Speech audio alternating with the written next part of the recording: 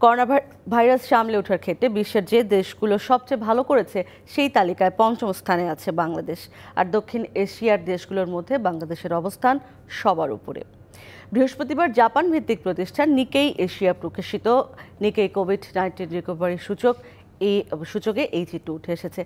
সূচকে বিশ্বের একশো একুশটি দেশের মধ্যে শীর্ষস্থানে রয়েছে কাতার। এরপরে সংযুক্ত আরব আমিরাত কম্বোডিয়া ও রুয়ান্ডা। তারপরেই বাংলাদেশের অবস্থান। এক্ষেত্রে দক্ষিণ এশিয়ার মধ্যে নেপালের অবস্থান ষষ্ঠ ও ভারতের অবস্থান সত্তরতম। করোনা সংক্রমণ ছড়িয়ে পড়া ঠেকাতে বিভিন্ন দেশ ও অঞ্চলের ব্যবস্থাপনা, টিকাদান এবং এই মহামারী মোকাবেলায় সামাজিক তৎপরতার উপর ভিত্তি করে এই সুযোগ প্রকাশ করা হয়।